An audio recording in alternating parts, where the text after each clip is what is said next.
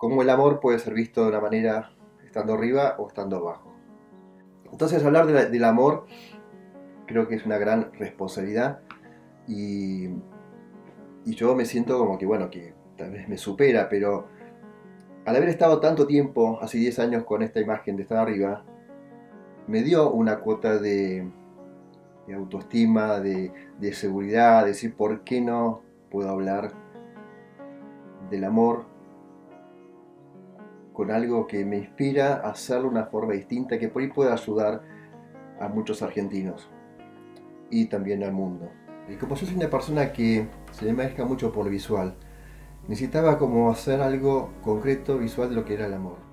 Y desglosar el amor en, todas las palabras que se me ocurrían, ¿no? Entonces empecé por las palabras más cercanas al amor, que para mí era más importante, y puse, bueno, una flechita hacia lo que era la vida. Digo algunos por acá para que vean, eh, por ejemplo, diversidad, único, eh, alegría, tolerancia, confianza, bueno, en fin, un montón de palabras buenas y seguramente eh, podría seguir muchísimo más y otros podrían acoplar más palabras. Entonces, asociar la palabra amor con todas las palabras que involucra significa el poder del amor, lo que significa el amor. Por eso es tan difícil describirlo y hay tantas versiones distintas del amor, que todas pueden ser buenas. ¿no? Uno puede vivir en un palacio y, ser una persona amorosa, uno puede vivir en un rancho y también puede ser una persona amorosa. Eh, no hay un lugar que, determina si hay amor o no. El amor puede estar en cualquier lado. Entonces, ¿por qué no pensar que el amor visto desde arriba, en, un plano eh, físico como este, pueda darnos a nosotros una perspectiva del amor distinta y superarnos en lo que ya somos buenos?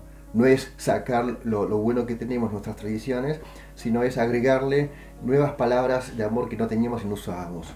¿Para qué? Para que de esa manera los espacios de nuestra mente, nuestra espiritualidad, se llenen de más palabras buenas y no de palabras como puede ser la violencia, la mentira, la corrupción y todas esas que se van metiendo en la sociedad, en nuestra sociedad, pensando que esas son eh, las palabras más eh, habituales y que no puede haber otra. No, justamente lo que hay que hacer es llenar con palabras buenas. Más la visión de estar arriba, todo se conjuga en algo bueno, algo positivo, algo que nos lleva al amor verdadero, más pleno seguramente vamos a ser mejor que ahora. Entonces los que estamos bien, los que somos felices estando abajo, estando arriba, vamos a ser mucho más felices, porque el, hombre no tiene límite. Y los que no están tan felices estando abajo, como hay muchos ahora en este momento en Argentina, que hay un 40% de pobreza aparentemente, todas esas personas que no son felices del todo, estando arriba, seguramente pueden alcanzar una mayor felicidad.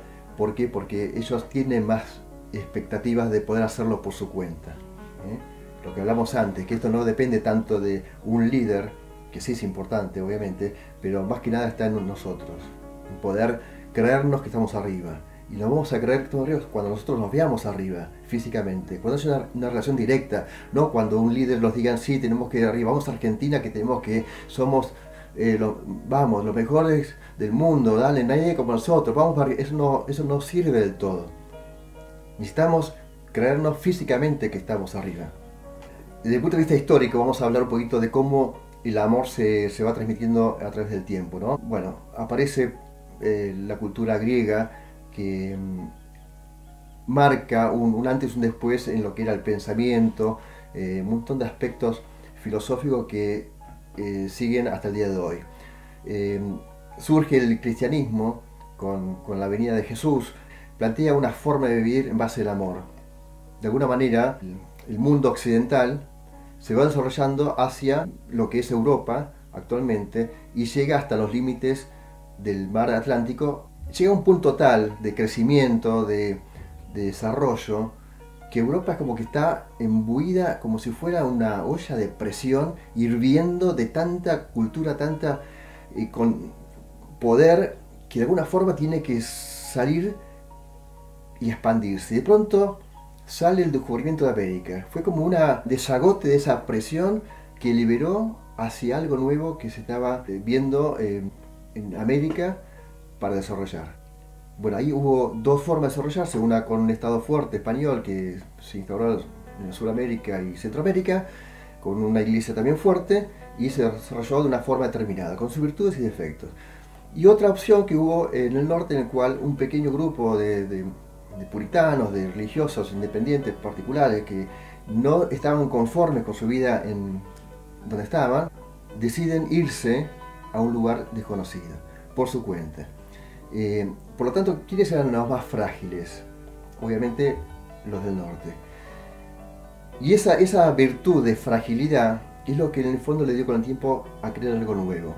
Y así es como Estados Unidos se convirtió en una potencia mundial. Actualmente vivimos una cierta sensación parecida a lo que fue la Europa antes del descubrimiento de América. Parecería que ahora el norte vive una gran presión de poder que de alguna forma tiene que, está bien, aliviarse y descomprimirse de alguna manera. Si esto se hace a nivel mundial, si los países del sur compensen algún día, que es el 10%, son los más frágiles, volvemos a la fragilidad, si los más frágiles del hemisferio sur logran convencer a los más poderosos del norte a que esto se haga, hay muchas más posibilidades que la descompresión del poder se haga de una forma suave, contenida y amorosa. Esto le da una cierta solución, un escape a los poderosos del norte para decir, bueno, lo podemos hacer de esta forma, paulatinamente, y vamos a lograr un cambio. Va a ser menos traumático que de la forma que aparentemente se está llevando actualmente con lo que vemos con esta crisis mundial del coronavirus. Cada vez que veo esta imagen me refiero un poco a lo que sería un faro donde la luz está arriba y va iluminando a, lo que está alrededor para que los barcos se guíen ¿eh? en el camino y no, no, se choquen contra algo.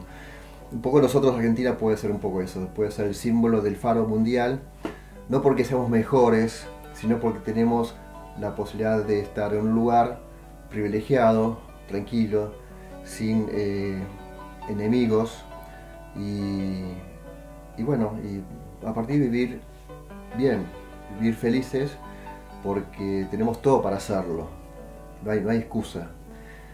Entonces, como nosotros no vamos a cambiar a los líderes, no lo vamos a cambiar.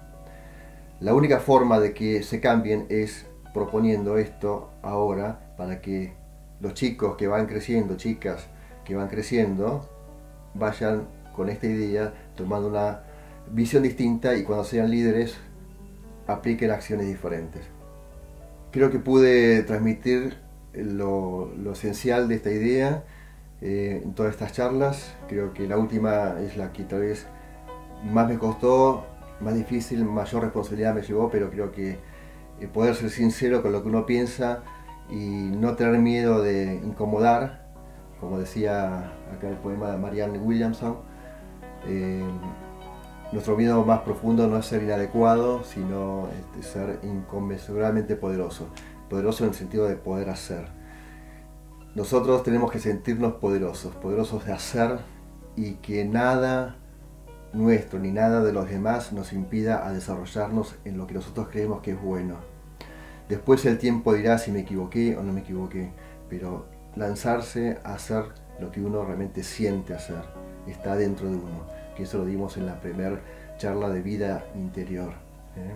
Tener espacios para estar con uno mismo, conocernos, satisfacernos y largar todo lo que tenemos para lograr ser felices con los demás. Si no, pasamos a ser criaturas independientes, individuales, pero sin una conjunción de, de, toda la sociedad, que también cada uno tiene su individualidad.